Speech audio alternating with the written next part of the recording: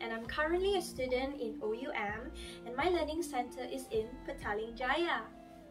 I'm currently studying the degree course in education with TESOL and today I have prepared a speech which I would like to share with every one of you.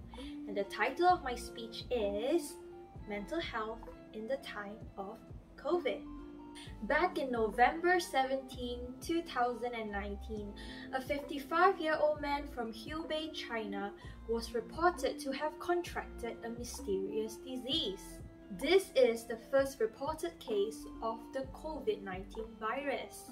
Then, fast forward to January 2020, the first case of COVID-19 was detected in our country, Malaysia. But of course, this virus is also spreading rampantly all over the world. To counter the attack of this virus, we as a country decided to take action. So in March of 2020, we had our very first MCO, also known as the Movement Control Order. Initially, this plan was supposed to last for 14 days, where our movements are restricted businesses and even places of worship are ordered to close. Additionally, we are all encouraged to stay in our homes at all times. One year later, people are raising white flags, businesses are permanently closed, and many individuals have lost their jobs. With all these negativities that is going around, it is no doubt that this will also affect our mental well-being. This is why I believe that it is important to talk about our mental health and to take this issue more seriously. It is also time that we treat this as important as our physical health. Fear, worry, and stress are normal responses when we perceive threats. It puts a burden in our minds, and for some, it can even cause us to have a lack of sleep. And just like any other illnesses, if left untreated for too long, the outcome could even be fatal. It is also time that we Malaysians change our perspective about mental health. Ashamed, embarrassed or afraid, these are some of the emotions that stops a mental health patient from seeking real help. And why is that? Well, there is a strong social stigma that if the person is associated with any type of mental illness, he or she will be labeled as quote unquote crazy. This negative perception often leads individuals with real mental health issues to suffer in silence, and it also discourages them from seeking professional help. Currently, we are living through a global pandemic and we are constantly dealing with uncertainties. This could cause many individuals to experience a certain level of anxiety. While many things remain outside of our control, how we cope with stress is also very important. With that in mind, we have to understand that every one of us have our very own coping mechanism. With that being the reason, it is important for us to remember to never look down upon a person when he or she seeks out a professional such as a psychiatrist or therapist for help.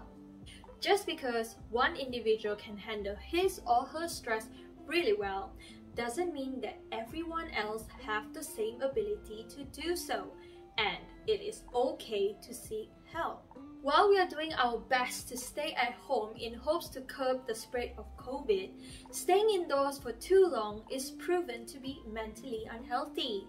Cooping inside for great lengths of time can build up anxiety and restlessness. Feeling restless can also make one irritable and upset than usual by seemingly minor things. So today I'm going to share with you a few tips to take care of our mental well-being in this global pandemic times. Number 1. Open up your windows. Not only will the ventilation help decrease the spread of COVID, but a breath of fresh air or a gentle breeze can help uplift one's mood. Additionally, opening up the windows gives us exposure to sunlight and this can help our brain to release a hormone called serotonin. And this hormone serotonin has the ability to help a person feel calm and focused. Number two, take a break from social media. Although it is good to stay well informed about our current situation, constantly hearing about the pandemic could be upsetting. If possible, refrain from checking the daily count of our pandemic cases. Number 3. Choose your distraction. What I mean by this is to do things that you enjoy. Find an activity that can distract you away from all the negativity of COVID. Instead of thinking and worrying about the uncertainties of our current pandemic, why don't we spend time doing what we love? Activities such as listening to music or reading a book could help uplift the soul. And number four, talk it out. Find a friend whom you trust to share about your feelings. Although the pandemic has decreased our chances of meeting up with one another, our modern technology has broken this barrier. We can call, FaceTime, or even have a Zoom meetup. If we have built up too much negative thoughts or stress in our minds, it is actually good to let it out. Sharing your feelings with someone not only helps to dispel negative thoughts in your mind, but it also helps you to organize your thoughts. However, if you do not have any friends to talk to or no one is around to listen, you can always call the Befrienders hotline. Of course, if you continue to feel highly stressed or even depressed, please do seek out professional help. Lastly, let us keep a daily reminder. A reminder to remind ourselves that we are not alone. Whenever one is faced with hardships or challenges, it's easy to feel like the world is against you. That is why it is important to constantly remind ourselves that we are not going through these struggles alone. Remind ourselves that there are many others in this world who are also facing similar difficulties in their lives. Then allow yourself the time needed to get through it. Remember, problems are only temporary and don't be afraid to seek out help. And with that, I would like to conclude my speech with an advice to stop neglecting our mental health. While we are all busy making sure that we are healthy physically, let's not forget the health of our minds. Thank you.